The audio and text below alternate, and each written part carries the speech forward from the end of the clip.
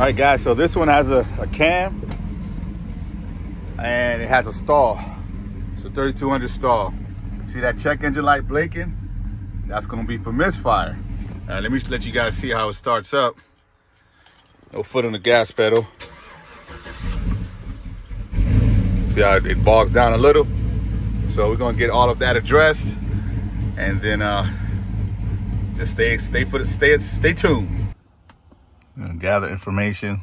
Or I gotta just hit read, but I always like to gather it first, make sure uh, the modules both show up. And this one's taking a little while. All right, there we go. So I only need the two, the first two modules and I'll hit read. All right, we're gonna fire it up. No foot on the pedal. Fires up good. Doesn't have that hiccup where it goes up and drops a little. No check engine light flashing. O2 sensors are switching. Closed loop is on normal. And short-term fuel trims are good at idle. We'll take it for a cruise, but I've done thousands of these, so I'm pretty sure I got her. I got it good, but I'll dial it in just to make sure on the street by driving it some.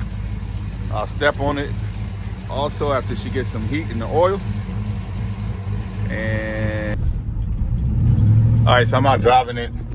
Uh, it's driving pretty good, man, for a 4.8. Just a little bit of fuel, but she's she's pretty dead on. So for 4.8, she's healthy. She pulls nice and strong. I haven't stepped on it hard, but moderate throttle. She sounds good, feels good.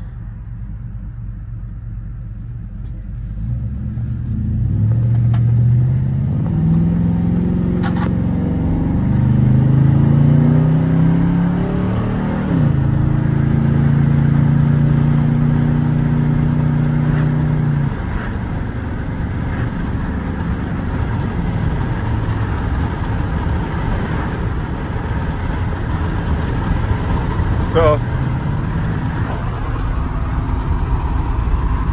fuel trims are nice. I'm going to let it sit for about 10, 15 minutes.